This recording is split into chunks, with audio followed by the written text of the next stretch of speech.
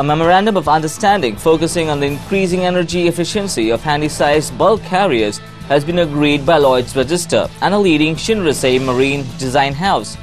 The deal in response to increasing pressure from owners and regulators for shipbuilders to offer environmentally friendlier and more cost-effective vessels is to jointly develop a new fuel-efficient bulk carrier.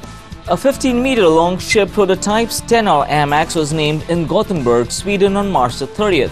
The prototype is part of a project in which an air cushion is being tested to investigate to what extent it can reduce the friction between the hull and the water, thus allowing fuel, reducing fuel consumption and emissions of large tankers in the future.